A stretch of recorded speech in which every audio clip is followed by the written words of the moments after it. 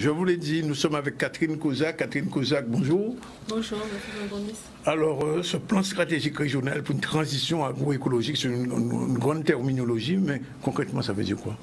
Ben, L'agroécologie, c'est produire en, respectant l'équilibre environnemental euh, du milieu, donc en utilisant le moins possible euh, d'intrants, de, produits chimiques, on va dire. Des herbicides, par exemple. Par exemple, mmh. euh, et en respectant un territoire donné, en utilisant des pratiques qui permettent de sauvegarder l'environnement et la, biodiversité. Mais c'est de l'agriculture familiale, c'est ça? Pas, nécessairement. Euh, ce qu'on peut dire, c'est que dans nos traditions et chez nous, mm. l'agriculture familiale, le jardin créole tel qu'on le connaissait, est déjà euh, répond à des pratiques agroécologiques, puisqu'on a très peu d'intrants, puisqu'on a une multiplicité de cultures végétales et animales associées, ben, qui permettent justement au marché, au jardin créole, d'être un, d'être un jardin foisonnant. Donc, dans nos pratiques euh, culturelles traditionnel, euh, on avait déjà, ce, et on a encore, parce qu'il y a encore des petites, des petites exploitations qui euh, ont ce genre de pratiques, ben, on a ces traditions d'agroécologie. Alors, euh, ben, il s'agit de faire en sorte que notre agriculture, d'une manière générale, même au-delà des petites exploitations, puisse ben, prendre le pas d'une transition agroécologique. C'est un enjeu sociétal, environnemental, mondial. Hein, c'est un problème qui s'oppose à nous ici, mais qui s'oppose partout. Et donc euh, la région a, pris le pari d'encourager ce genre euh, d'agriculture agroécologique, c'est ça? Tout à fait. Euh, la région a, décidé de définir une stratégie de transition agroécologique. C'est pourquoi vous transition Quoi transition? Transition, c'est entre quoi et quoi? Transition entre une agriculture euh, industrielle. extensive, euh, consommatrice d'espace, d'intrants, de, enfin, de produits chimiques, et une agriculture respectueuse de l'environnement. Donc il y a effectivement un saut à faire. Euh, on parle là aujourd'hui de, de, changer de modèle de développement pour aller vers une alimentation plus saine. Mmh. Euh, c'est une préoccupation importante des consommateurs de plus en plus. Euh, donc il s'agit de nourrir mieux, de nourrir plus sainement. Il s'agit euh, ben, de se nourrir aussi de ce qui nous entoure, puisque diminuer l'empreinte écologique de l'agriculture, c'est aussi consommer et produire dans, dans, la proximité. Alors pour les gens qui nous regardent, ils vont se dire oui d'accord, c'est un concept, mais concrètement, quels sont par exemple le type de, de produits de, plantes qui vont être développées dans cette agro, euh, euh, transition agroécologique? C'est pas proprement parler une réflexion sur des plantes, euh, c'est une, réflexion sur des systèmes. comment produire un système contraint, par exemple en forêt, en sous-bois, comment produire sur des espaces qui sont pas ou peu mécanisables, comment produire l'ensemble de nos produits pour qu'ils soient, euh, qu'on ait une meilleure qualité, une meilleure traçabilité. Donc on s'intéresse vraiment au système euh, d'exploitation et pas une, une, culture de façon spécifique. On interroge les pratiques euh, de, de, nos producteurs. Voilà, tout à fait. Oui. Et on accompagne donc avec des, des, il y a des réponses apportées qui sont de l'ordre de la technique, donc qui vont intéresser les, les, les chercheurs. Euh, il y a des réponses qui sont de l'ordre de la formation, puisqu'on parle d'innover, on parle de, trouver euh, de nouvelles techniques qui permettent de produire. On peut pas se. Il y a, des, choses qui attaquent euh, les, plantes. Il faut quand même arriver à sortir une production, et donc ça demande euh, une certaine technicité, ça demande des pratiques particulières qui demandent d'associer la formation, la recherche, les agriculteurs eux-mêmes parce qu'ils ont des savoirs savoir euh, particulier mhm. euh, pour ben, arriver à faire ce saut, à faire cette transition vers des modèles euh, plus respectueux de l'environnement. Et on parle aussi d'un modèle qui permette aux producteurs de vivre, parce qu'il ne suffit pas de dire de ne pas mettre de, produits chimiques et de produire des produits sains.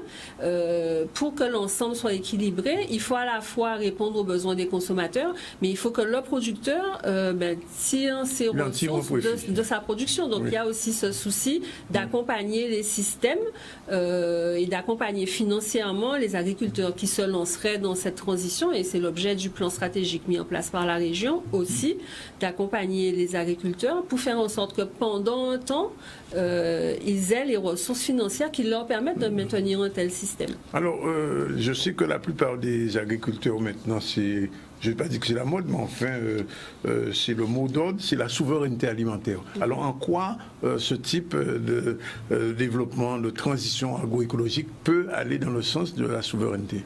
La souveraineté alimentaire, c'est faire en sorte qu'on dispose euh, sur place, mhm. chez nous, au plus près des consommateurs, de la production euh, suffisante. Voilà, exactement. Mhm. La production suffisante en qualité et en quantité. Mhm. Euh, et donc, ça veut dire ben, de préserver la biodiversité, de préserver le milieu. Là, actuellement, on vit une crise qui, interroge justement ce genre de choses. Quand il n'y a plus d'avions, il n'y a plus de bateaux, les produits ne rentrent plus, eh ben, il faut réfléchir. Jardin, nous pas si bateau. Exactement. c'est la phrase euh, qu'on entend souvent. Mhm. Mais euh, c'est cette réalité-là aussi que ça interroge. Donc, comment produire en quantité suffisante donc, c'est pas juste le jardin qui est devant en quantité et en qualité. Et en qualité, hmm. en respectant le milieu, parce que euh, nous avons connu des productions qui ont détruit le sol, qui ont, ben, après les avoir, euh, après avoir euh, exploité le sol de manière irrespectueuse, on va hmm. dire, ben, on n'est pas dans un système pérenne. Hmm. Et donc, c'est ça, la, souveraineté alimentaire, elle, elle sera garantie au moment où on pourra produire chez nous en quantité, en qualité, en diversité, euh, ce qui est nécessaire et suffisant pour alimenter le commerce local. Mais ça veut dire un équilibre des deux, un équilibre des techniques et des pratiques, et puis euh, une viabilité des exploitations pour les agriculteurs. S'ils ne veulent pas vivre de leur euh, activité, c'est vain de leur demander d'avoir des pratiques différentes. Au niveau de, l'exploitation type, il y a un minimum à avoir pour entrer dans ce cadre? Alors sur sur euh, sur le plan et dans un premier temps pour les dispositifs euh, financiers, on s'est rendu compte que les petites exploitations moins d'un hectare ou plus d'un hectare? Non non pas moins d'un hectare jusqu'à 7 hectares. Mais on est on est euh, de, de oui de 1 hectare à ah. jusqu'à 7 hectares. on est sur des, des exploitations Petite exploitation, on va dire. moyenne, petite et moyenne. Euh, sont celles, surtout les exploitations en, polyculture, euh, sont celles qui ont le plus de mal et le plus de difficultés à, accéder, aux aides nationales, aux aides européennes. Et donc, la région a conçu, a construit à travers ce dispositif aussi les moyens pour des exploitations qui souvent sont hors des circuits classiques, mais d'accéder à des aides et un accompagnement, euh, en plus, comme je le disais, de la spécificité qui est liée euh, à l'agroécologie et donc à, l'utilisation la, moins forte possible euh, de produits chimiques et de produits extérieurs. Le, profil type euh, de, l'agriculteur, de ce type de d'agroécologique, il est jeune, il est plus de 50 ans, moins de 50 ans? Alors, l'agriculture, d'une manière générale chez nous, mmh pour ceux qui, exercent déjà, euh, n'est pas spécialement jeune. Oui. Euh, se renouvelle quand même. Elle se renouvelle, mais surtout ce que j'allais dire, c'est qu'il y a par contre énormément de jeunes qui frappent à la porte, euh, dont un certain nombre avec des projets vertueux.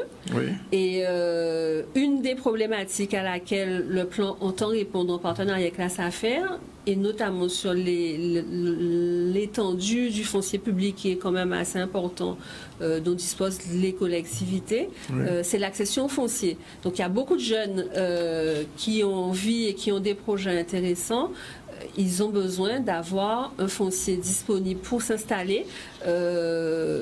Euh, parmi le foncier disponible euh, des collectivités, mais de la SAFER notamment par exemple, euh, ben, il y a du foncier sous contrainte et ce foncier sous contrainte, donc comme je disais, hein, mm. ça peut être un foncier qui n'est pas plat, ça peut être un foncier qui est en sous-bois, ben, ce foncier nécessite des pratiques particulières et notamment des pratiques agroécologiques pour arriver et à...